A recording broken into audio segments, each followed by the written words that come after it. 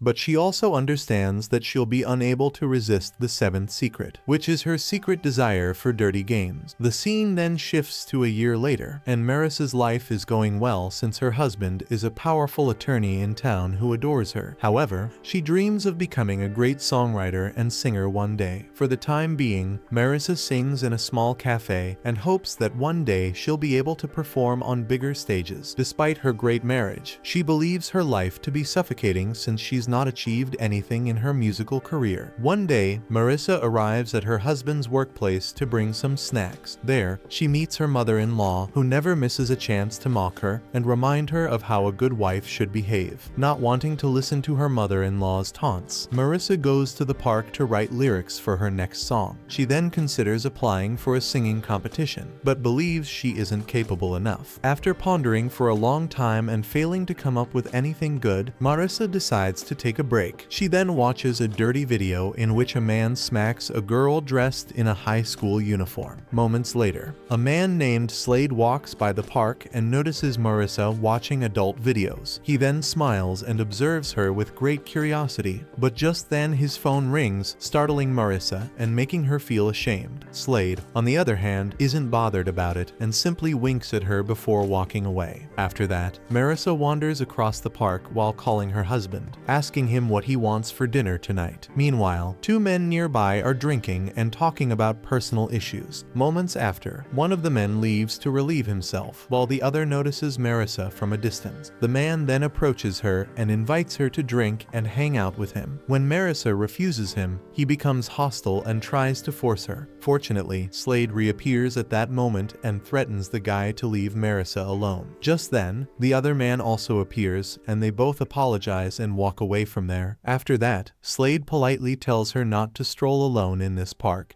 and that there must be another place for her to watch dirty videos. He inquires if she was the person in the video, which Marissa denies. He then puts his number into her phone and invites her to a place called the Corporal Club, promising her an exciting time there. That evening, while Marissa's in her bed, she imagines Slade carrying her on his shoulder and leading her into the forest, where he punishes and smacks her for not writing a song. Chris then enters the bedroom and seeing that his wife is aroused, he assumes that she's dreaming about him. Chris then kisses her and the two proceed to make love. After that, Marissa fantasizes about being smacked, which she hints to her husband again and again. However, he ignores all of these signs as he's too beta to perform such behavior. The next morning, Marissa calls Slade and hangs up as soon as she hears the first ring. She then collects her confidence and calls him again. But when she hears Slade's voice, she hangs up again. Slade understands her doubts and knows he can persuade her, but he's now busy playing with his son. Just then, Marissa's visited by her cop sister, who gives her brochures promoting Marissa's singing show. Later, Marissa tries to find out more about the Corporal Club and searches the internet for details. Just then, Chris appears and informs her that he'll soon be able to become the state's youngest district attorney. His boss is quit and Chris now has the support of powerful people to run for this post. He also tells Marissa that family is very important to him and that they should start thinking about having a baby. Marissa, on the other hand, claims that she's not yet ready for this since she wants to make music and gain some success before becoming a mother. But Chris says that they can't put their lives on hold while she chases her goal. His words offend Marissa deeply, and the two end up arguing with each other. Afterward, Marissa visits the Corporal Club where she meets a woman named Olivia. Marissa's terrified of going inside, but just then, Slade arrives and persuades her to set aside her fears assuring her that she's in good hands. However, their talk is interrupted when Chris calls Marissa to apologize for their argument earlier. Next, when Slade opens the door, Marissa hears moaning sounds from the club,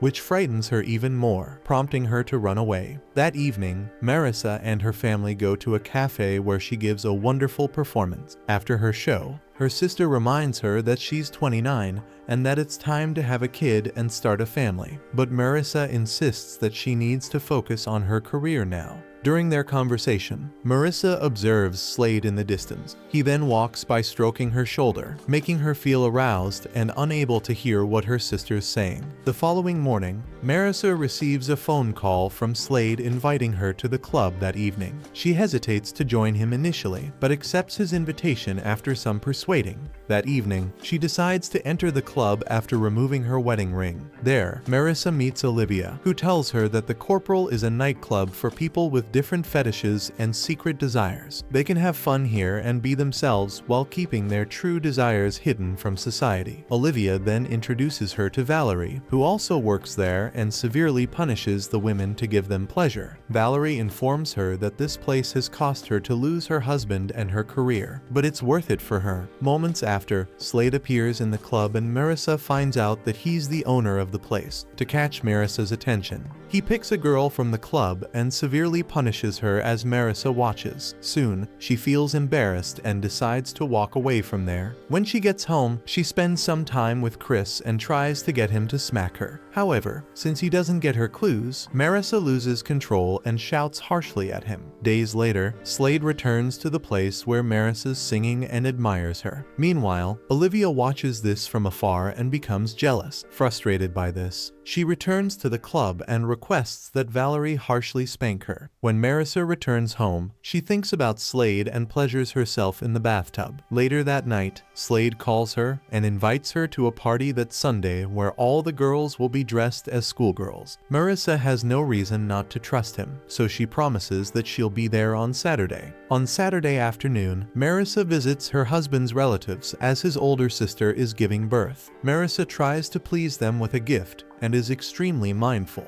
But Chris' mother taunts her at every chance she gets. She mocks Marissa's work and calls her unemployed as she's nearly 30 and has no achievements. However, Chris' youngest sister supports and protects Marissa from these insults as she understands what it's like to be different and an outcast. Later, Chris' mother invites the guests to play a random game. She and her eldest daughter distribute flyers with flower images and ask the girls to look for some of them. The first person to accomplish so will earn $50 to help with their expenses. Everyone rushes around the place as soon as the game begins, except Marissa, who's not interested in all of this. Moments after, she notices Chris' mother and youngest sister arguing since the mother has a problem with her daughter's behavior and appearance, realizing that she'll always be judged for what she wants. Marissa decides not to deny herself and decides to go to the Corporal Club. She's dressed like a schoolgirl and feels a little embarrassed, questioning whether she's doing the right thing. However, when she sees Slade, she gives into his charm and he takes her to a room to have fun, while Olivia looks at them jealously. He then closes the curtains and orders Marissa to kneel. He then lifts her skirt and begins smacking her hard, giving her pain and pleasure. After arriving home, Marissa smiles as she stares in the mirror at the red marks on her body. Later, she ignores her husband's texts and calls, who's away on a business trip. But when Slade texts her, she responds excitedly and thanks him for a lovely evening. Later, she finally dares to pursue her dreams and applies for the singing contest. On the other hand, Olivia arrives home and plays with her son, and it's revealed that she's Slade's ex-wife and is still in love with him.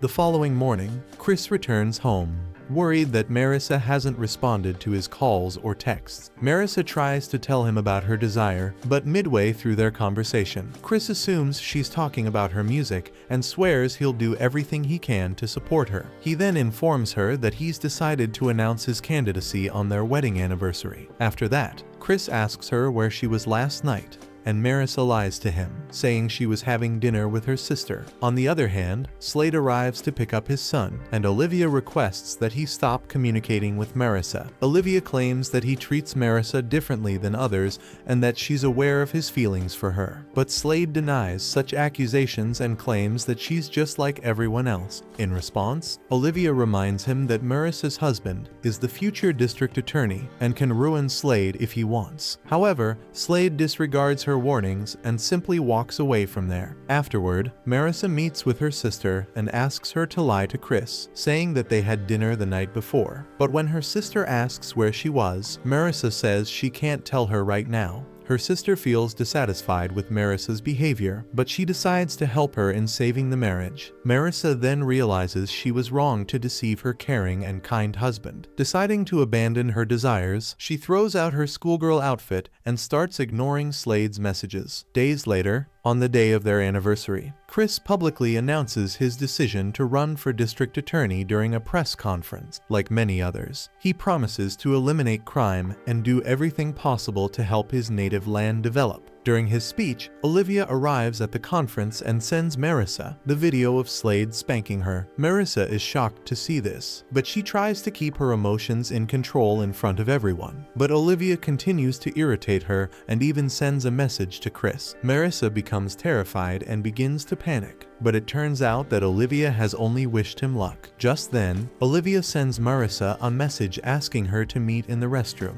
Upon reaching there, Olivia begins blackmailing her, claiming she wants to control her and Slade's lives. Marissa claims it was a one-time thing and that nothing will happen between her and Slade, but Olivia doesn't believe her. She orders Marissa to continue attending the club, but only with her permission. Marissa is not ready for such conditions and tries to hide in the toilet stall, but Olivia continues her blackmail and even threatens to expose her in public. At this point, Marissa is in a desperate situation. So for the sake of her husband's career, Marissa agrees to Olivia's conditions and invites her to the club next Saturday, after which she departs. Then Marissa puts a smile on her face and walks over to her husband to pose before the press conference. And as the movie ends, that's all for today. Subscribe and like it if you want more videos like this.